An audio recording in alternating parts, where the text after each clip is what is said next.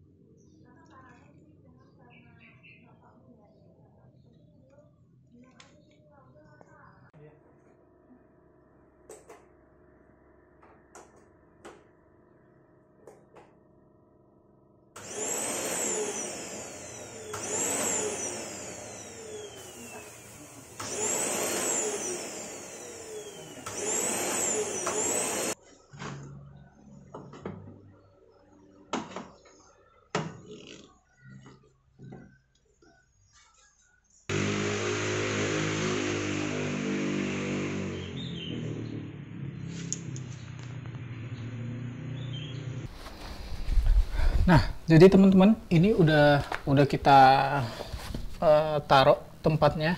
Itu embernya udah di bawah meja terus ini vacuum cleanernya. Dan ini kita buat saklar di sini ini bekas show jadi ini kita uh, itu kan dia kekunci ya jadi biar gitu aja. Jadi kita nanti ngidup uh, ngidupin matinya tinggal kita pakai kaki aja di sini. Jadi ini itu bekas table show yang lama jadi uh, kita buat dia otomatis ke sini aja gitu. Nah ini sekarang kita mau coba untuk potong terus kita lihat debunya gimana. Untuk dari dari vacuum cleanernya atau dust collector yang di sana itu apakah efektif atau enggak. Langsung aja lah kita coba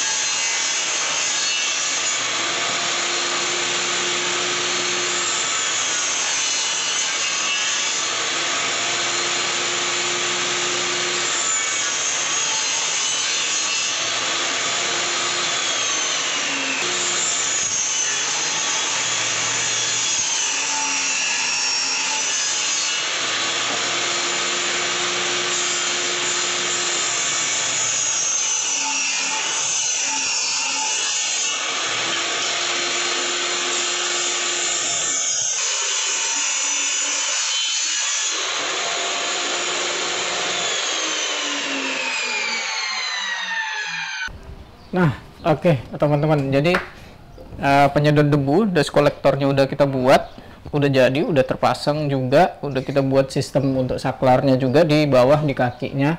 Terus uh, kita juga udah upgrade mata pisaunya yang pakai yang bos 60 tit. Kita bahas dulu dari satu persatu. Uh, jadi dari mata pisaunya dulu ya. Dari mata pisaunya yang kita upgrade itu ent, uh, enteng banget potongannya lebih halus daripada yang uh, 24 tip.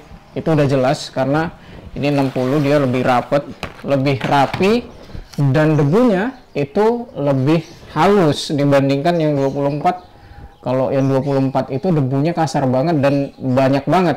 Dan ini itu potongannya halus halus halus banget untuk blok min karena saya dimain blok min dan uh, plywood.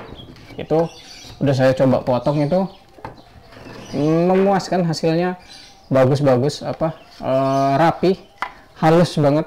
Halus nggak halus banget sih tapi halus.